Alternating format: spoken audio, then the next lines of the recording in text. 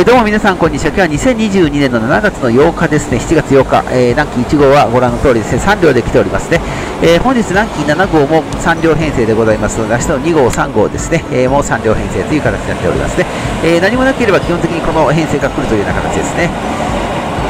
はい、えー、以前はですね、えー、7号、6号から7号になるときにね、えー、この3号車、金勝浦間先導車がね、入れ替わっておりましたので、そんなこともね、ちょっとなきにしもあらずかなというところでございます。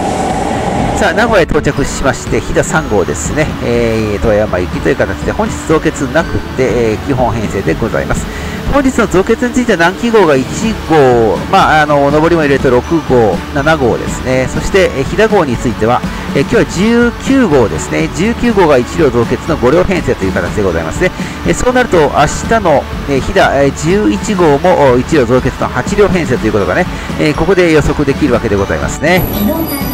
はい、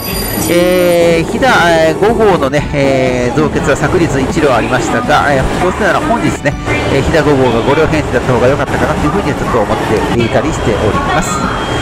はい、えー、またそのね、理由は後々ということでございますが、はい、えー、飛騨、えー、このね、3号に関しても、組み替えがね、えー、2号車、キロハ84がありましたしね、え、先ほどの8号車はもうね、ちょっと前からありましたが、えー、変わっております。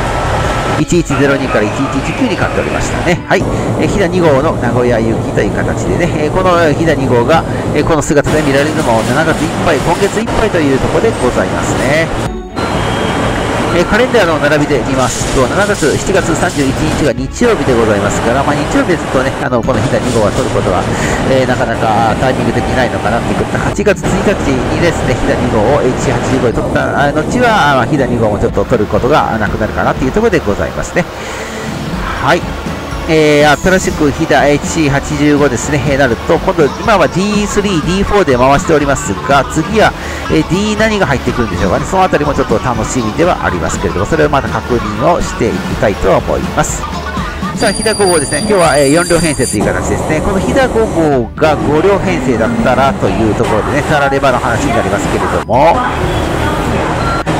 はい、えー、今4、えー、7号車か、えー、次が8号車、1118ということでね、8号車の1118ということですね。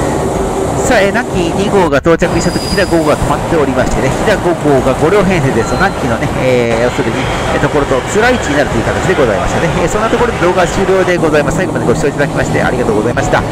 えー、またですね、撮っていきますので、ぜひともご視聴ください。チャンネル登録まだしていただけると助かりますので、よろしくお願いします。それではまた会いましょう。さよなら。今回の飛騨5号だとつらい位置になりましたね。